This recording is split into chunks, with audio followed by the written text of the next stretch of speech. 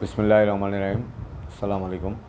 সুপ্রিয় ছাত্রছাত্রীবৃন্দ, সরকারি হরঙ্গা কলেজ আয়োজিত এন্টারপ্রেনারশিপের এই অনলাইন ক্লাসে তোমাদের স্বাগত জানাই। আজকে আমরা আলোচনা করব প্ল্যানিং স্মল বিজনেস, অর্থাৎ ক্ষুদ্র ব্যবসার পরিকল্পনা কীভাবে করা যাবে এখানে থাকবে যে পরিকল্পনা কি, আদর্শ পরিকল্পনার গুণাবলী কী, ক্ষুদ্র ব্যবসার পরিকল্পনার সংজ্ঞা কী, এটা গুরুত্ব কী, বৈশিষ্ট্য কী, ব্যবহার কী, পদক্ষেপ কী বাধাসমূহ কী কী আছে, এটা এই বাধা কীভাবে এড়ানো যায় পরি ব্যবসা পরিকল্পনার কাঠামো কী আছে, কে ব্যবসা পরিকল্পনা করবে, প্রকল্প কী, প্রকল্পের ধারণা, উৎস প্রকল্পের প্রকল্পের এবং একটা প্রকল্পের মূল্যায়নের যে বিভিন্ন পদ্ধতি আছে আর একটা স্যাম্পল নিয়ে আমরা কথা বলব, প্রকল্পের স্যাম্পল নিয়ে। প্রথমে আমরা জানব পরিকল্পনা কি। পরিকল্পনা হচ্ছে কাজটা কে করবে, কেন করবে, কখন করবে, কীভাবে করবে, কোথায় করবে এইসবের যে উত্তর সেই যে উত্তর যেখানে পাওয়া যায়, সেটাই হচ্ছে পরিকল্পনা। অর্থাৎ ভবিষ্যতের কাজকে বর্তমানে নির্ধারণ করাটাই হচ্ছে পরিকল্পনা।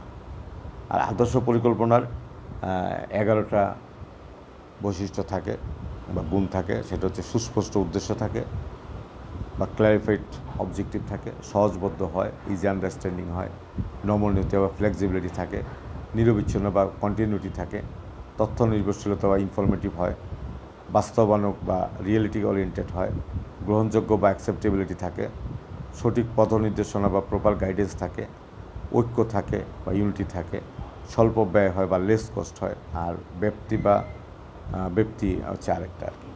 এখন প্রশ্ন হচ্ছে যে এই ক্ষুদ্র ব্যবসার যে পরিকল্পনার সংজ্ঞা সেটা আমরা বলতে পারি এভাবে আর কি। যে উদ্যোক্তার জন্য, কাজ করার জন্য, ভবিষ্যতে কর্মকাণ্ডের একটা উৎকৃষ্ট কর্মপন্থা কীভাবে কাজটি করা হবে, কোন পথে করা হবে, এবং কোনটা উত্তম ইয়ে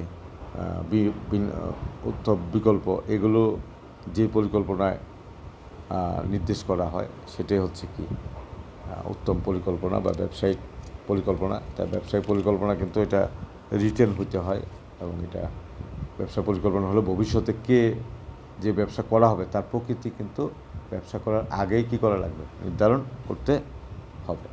তো সেখানে থাকবে কি কাজ করা হবে, কাজ কেন করা হবে, কাজের দ্বারা কাজটি করা হবে, কাজ কখন করা হবে, কোথায় সম্পাদিত হবে এবং কীভাবে কাজটা সম্পাদিত করা হবে, এগুলো সবই কি থাকবে? পরিকল্পনায় থাকবে। তারপর পরিকল্পনার যে গুরুত্ব, ব্যবসায়িক পরিকল্পনা, সেটা কিন্তু আমাদের জানতে হবে যে ব্যবসায়িক পরিকল্পনার গুরুত্ব আছে আমাদের চোদ্দোটা পয়েন্টে। একটা হচ্ছে রাস্তার মানচিত্র সদৃশ্য এটা। উৎকৃষ্ট তথ্য প্রদান, শক্তি উৎপাদনের নকশা, সঠিক মূল্যায়নের সাহায্য, সঠিক কার্যধারা অনুসরণ, নিয়ন্ত্রণের ভিত্তি, যোগাযোগের হাতিয়ার। তারপর হচ্ছে ব্যবসার উন্নত উন্নয়ন গতিশীলতা, অনিশ্চয়তা ও পরিবর্তনজনিত সমস্যা হ্রাস, ব্যয় ও অপচয় হ্রাস, সহজ তুলনা করা, দক্ষতা অর্জন, অনিয়মিত পরীক্ষা কৌশল বিন্যাস ইত্যাদি। আর ব্যবসা পরিকল্পনার বৈশিষ্ট্য আছে হলো আটটা। একটা হচ্ছে লক্ষ্য কেন্দ্রাউনাক বা গোল ওরিয়েন্টেড হবে। শ্রেষ্ঠ বিকল্প নিতে হবে। তথ্য নির্ভরশীলতা থাকবে। চিন্তাশীল প্রক্রিয়া থাকবে। পূর্বাভাসকরণ প্রক্রিয়ার উপর নির্ভরশীল হবে। পরিকল্পনার ব্যাপ্তি থাকবে। নিরবিচ্ছিন্নতা থাকবে। গতিশীল প্রক্রিয়া থাকবে। তথ্য সমৃদ্ধ হবে।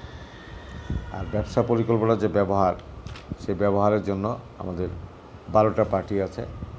প্রথমটি হচ্ছে কর্মীবিন্দু বা এমপ্লয়ি সেকেন্ড হচ্ছে বিনিয়োগকারী বা ইনভেস্টার থার্ড হচ্ছে ব্যাংকার ফোর্থ হচ্ছে সরবরাহকারী বা সাপ্লায়ার ফিফথ হচ্ছে ক্রেতাবিন্দু বা কাস্টমার ছয় হচ্ছে পরামর্শকারী বা অ্যাডভাইজার সাত হচ্ছে বিশেষজ্ঞ মতামত প্রদানকারী বা কনসালটেন্ট আট হচ্ছে মধ্যস্থ কারবারি বা মিডলম্যান নয় হচ্ছে সরকারি নিয়ন্ত্রণ সংস্থা বা গভর্নমেন্ট কন্ট্রোল এজেন্সিস দশ হচ্ছে লাইসেন্স প্রদান কর্তৃপক্ষ বা লাইসেন্সিং অথরিটি এগারো হচ্ছে ব্যবসা মূলধনের বিনিয়োগকারী বা ভেঞ্চার ক্যাপিটালাইজড আর বারো হচ্ছে মানব সম্পদ বিভাগ বা হিউম্যান রিসোর্স ডিপার্টমেন্ট এরপর আমরা আলোচনা করব যে ব্যবসা পরিকল্পনা উন্নয়নের জন্য কী কী পদক্ষেপ নিতে হবে। আসলে এখানে পদক্ষেপ নিতে হবে ষোলোটা পদক্ষেপ। প্রথমে হচ্ছে অঙ্গীকার সৃষ্টি করতে হবে। দুই নম্বর হলো নিজেকে বিশ্লেষণ করতে হবে। তিন নম্বর হচ্ছে পণ্য বা সেবা বাছাই করতে হবে।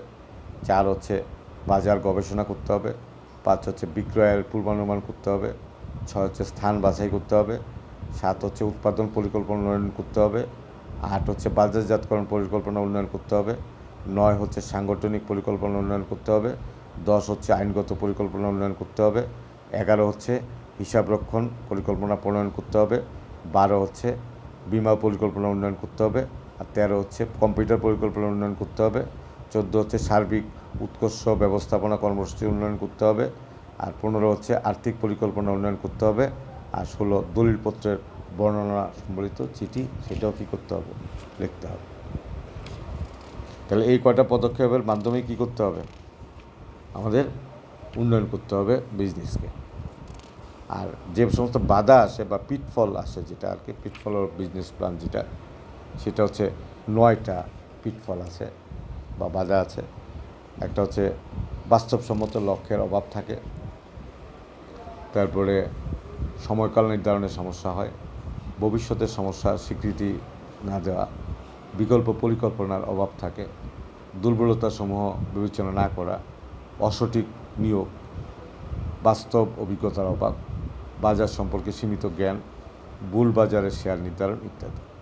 এটা বাধা পিটফলগুলো এড়ানোর জন্য আমরা নয়টা পদক্ষেপ নিতে পারি। তার প্রথমটি হচ্ছে যথাযথ বা সঠিক লক্ষ্য বিবরণী প্রণয়ন।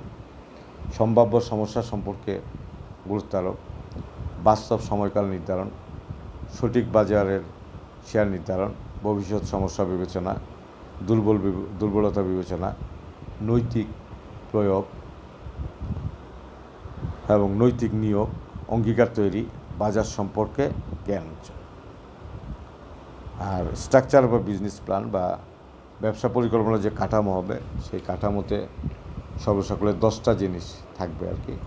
সেই দশটা জিনিস প্রথমটি হবে প্রকল্পের নাম থাকবে, দুই নম্বর প্রকল্পের সংক্ষিপ্ত বর্ণনা থাকবে, তিন নম্বরে উদ্যোক্তা নিজের সম্পর্কে মূল্যায়ন থাকবে, চার হচ্ছে দেশে প্রকল্পের অর্থনৈতিক গুরুত্ব থাকবে, পাঁচ হচ্ছে বিস্তারিত সূচিপত্র থাকবে, ছয় হচ্ছে বিপণন পরিকল্পনা থাকবে, সাত হচ্ছে উৎপাদন পরিকল্পনা থাকবে আট হচ্ছে ব্যবস্থাপকীয় সাংগঠনিক পরিকল্পনা থাকবে, নয় হচ্ছে আর্থিক পরিকল্পনা থাকবে এবং দশ হচ্ছে অন্যান্য কর পরিকল্পনা থাকবে। এখন একটা ব্যবসা পরিকল্পনা যে উপাদান কী কী থাকবে, সেই উপাদান থাকবে হচ্ছে পাঁচটি। প্রথমটি থাকবে হচ্ছে প্রতিষ্ঠান সম্পর্কিত মানে ব্যবস্থাপনার লক্ষ্য, সংগঠন ইত্যাদি কর্মী সংস্থান নিয়ে থাকবে। তৃতীয় হচ্ছে পণ্য নিয়ে থাকবে অর্থাৎ পণ্য কী ধরনের, কী সুবিধা আছে, বিশেষত্ব কী, দাম কত, গ্যারান্টি কীরকম এরকম তারপরে বাজার সম্পর্কিত থাকবে, এটা কি শিল্প থাকবে, ক্রেতা থাকবে, প্রতিযোগিতা থাকবে, আর্থিক বিবরণ থাকবে, আর্থিক অবস্থান থাকবে, তারপর চার হচ্ছে বন্টন সম্পর্কিত থাকবে। তারপরে পাঁচ নাম্বার থাকবে ঝুঁকি ও পুরস্কার, অর্থাৎ এখানে কী কী ঝুঁকি আছে এবং কী কী পুরস্কার আছে বা রিওয়ার্ড আছে, এগুলো কী করা থাকবে, এখানে থাকবে আর কি। তারপরে ক্ষুদ্র ব্যবসায় যে প্রভাব বিস্তারকের যে উপাদান, সেই উপাদান হচ্ছে আটটা। একটা হচ্ছে প্রতিষ্ঠানের উদ্দেশ্য বা লক্ষ্য। দুই নম্বর হচ্ছে প্রতিযোগী। তিন নম্বর প্রতিষ্ঠানের প্রকৃতি। চার নম্বর মানব সম্পদ সম্পর্কে পর্যাপ্ত মান বা জ্ঞান। সরবরাহকারী। পাঁচ, ছয় হচ্ছে প্রযুক্তির পর্যাপ্ততা। সাত হচ্ছে অর্থনৈতিক, রাজনৈতিক অবস্থা। আট হচ্ছে টাইম এই কটা জিনিসই প্রভাব বিস্তার করে থাকে। আর কেন পরিকল্পনা ব্যর্থ হয়? তার জন্য কারণ আছে ছয়টি। একটা হচ্ছে অযৌক্তিক লক্ষ্য নির্ধারণ, দুই নম্বর অপরিমাপযোগ্য লক্ষ্য, তিন নম্বর হচ্ছে অঙ্গীকারের অভাব, চার হচ্ছে অভিজ্ঞতার অভাব, পাঁচ হচ্ছে বিত্তীয় দুর্বলতা সম্পর্কে ধারণা, আর ছয় হচ্ছে ক্রেতা চাহিদা সৃষ্টি না করা।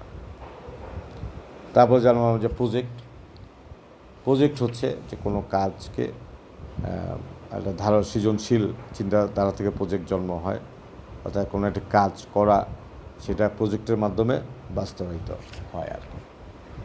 এখন এটার উৎস থাকে হলো বাহ্যিক উৎস, গবেষণা ও প্রকৌশল, বিক্রয় দক্ষতা, বাজার গবেষণা, প্রকল্প বিষয়ক পর্যালোচনা, অন্য জাতির উন্নয়ন, অন্যান্য সংস্থা এবং জাতীয় বাণিজ্য মেলা ও প্রদর্শন।